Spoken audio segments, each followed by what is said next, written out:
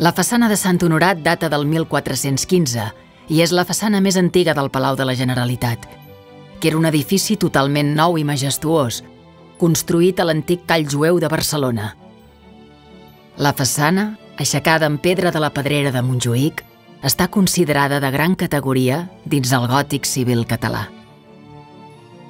La construcció va ser dissenyada per un jove arquitecte, Marc Safon, que aleshores tenia només 25 anys. Safon va passar gran part de la seva vida treballant al Palau, com a mestre major, i va portar a terme les construccions principals de l'etapa gòtica. Aquesta façana robusta i austera dona un carrer estret propi del barri jueu que dificulta poder acopsar-ne l'equilibri de forces.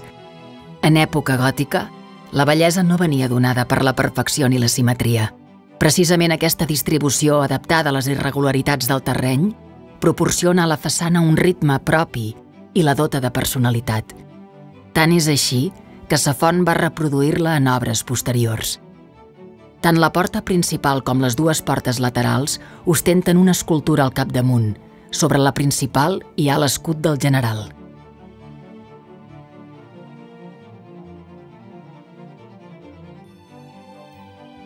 Les escultures de les portes laterals donen una pista sobre qui hi accedia, ja que són les portes dels macers, els guardes de la casa.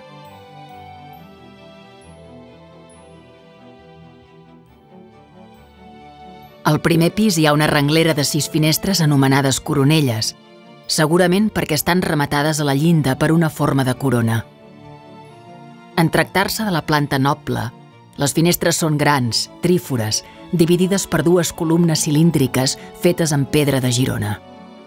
Al pis superior, les finestres són més senzilles, de dos arquets cadascuna i geminades, ja que només tenen una separació que la divideix verticalment en dues parts iguals.